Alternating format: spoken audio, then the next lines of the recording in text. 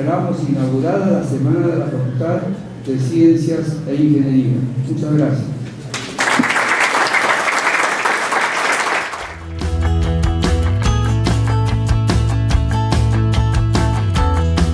Me preguntaba, justamente pensando en la, en la reunión de hoy, es cómo, cómo hacer para que América Latina, para que Perú genere otros personajes como Messi, como Pablo Guerrero, pero que estén relacionados a la tecnología. ¿Cómo hacer? ¿Cómo hacer?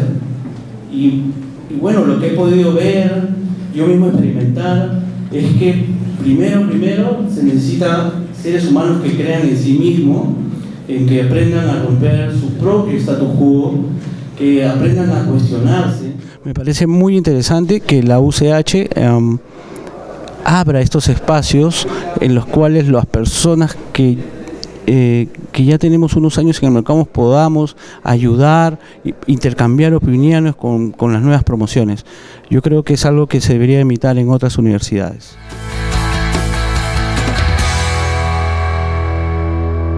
Las aplicaciones están reemplazando el espacio físico en realidad, ¿correcto? Y las aplicaciones son tecnología, lenguaje de programación, servidores, bases de datos, algoritmos, etcétera, ¿correcto? Entonces, eh, los grandes casos mundiales eh, que siempre vas a escuchar y que puedes investigar en internet eh, para transformación digital son Netflix. Yo soy fan de Netflix. Paro todo el día metido en Netflix.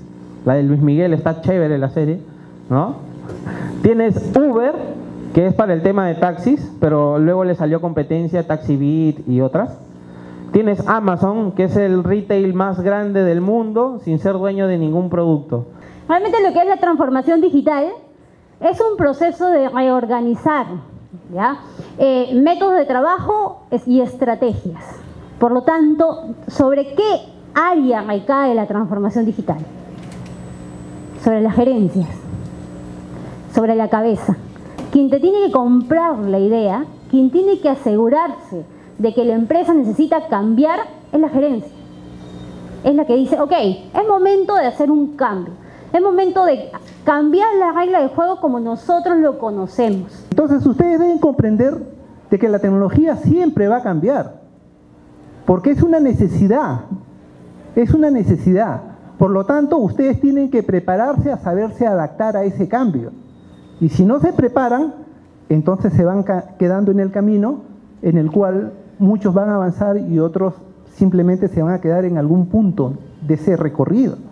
Mi ponencia trató sobre el tema de transformación digital en el cual el objetivo era enseñar cuáles son las tecnologías, los nuevos retos, los nuevos desafíos que nos da la transformación digital, así como las empresas en el mundo que hoy vienen aplicando y tratar de tocar algunos casos que se vienen desarrollando en Perú sobre transformación digital. Yo pienso que es muy positivo de que la universidad UCH pueda generar este tipo de eventos porque también ayuda a los estudiantes a que puedan tener otras perspectivas que no solamente sean las de sus profesores o directivos, que traigan profesionales de este tipo de, carrera, eh, es muy positivo para que puedan ver a qué se tienen que enfrentar. La idea de, de esta ponencia era sobre transformación digital, que es una tecnología emergente, pero así como el desarrollo de todas las tecnologías, es una de la década acostumbrémonos siempre que van a haber nuevos cambios, nuevas tecnologías y hay que prepararse para ello.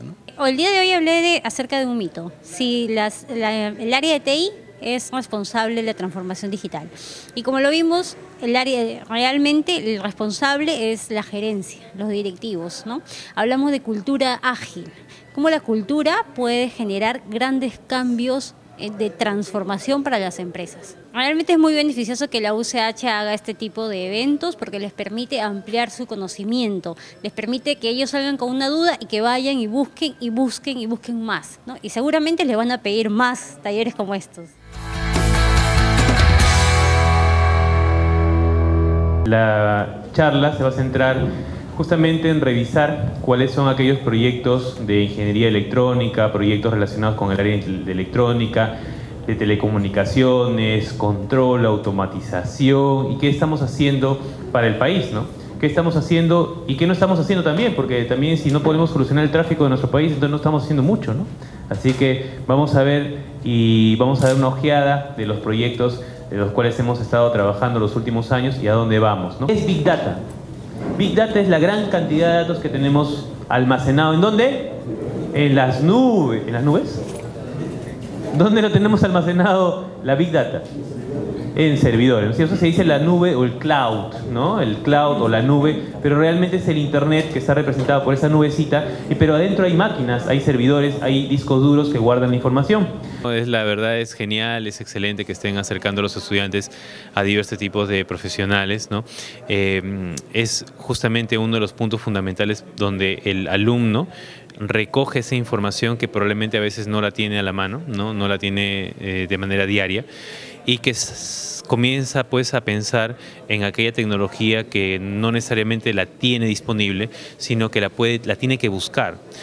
La ventaja que ahora tenemos eh, en esta sociedad de la información, del Internet, es que el conocimiento es mm, prácticamente libre y está en todo lugar. ¿no? Yo si quiero puedo estar estudiando en mi casa, estudiando en, en, la combi, estudiando en el autobús, estudiando en la universidad, estudiando en el pasillo, estudiando, en fin, en un en lugares que ni, ni, siquiera nos podíamos imaginar antes y con contenido muy bueno. Significa, hay lugares de los cuales yo puedo recoger información selecta, especial y que me ayudarían pues justamente a mejorar mis competencias en el área donde estoy especializándome.